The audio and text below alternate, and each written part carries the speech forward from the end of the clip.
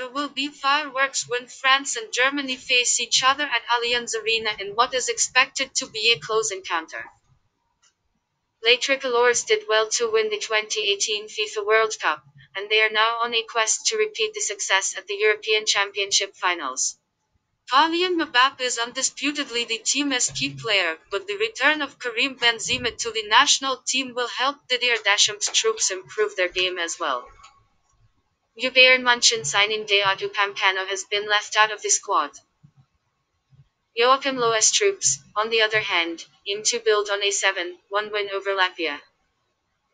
The Germans have big ambitions for the upcoming showpiece tournament, and given their attacking potential, both teams to score betting option should be considered.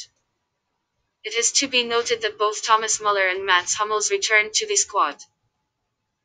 This match will be played on 15/06/2021 at 22 o'clock prediction 1 1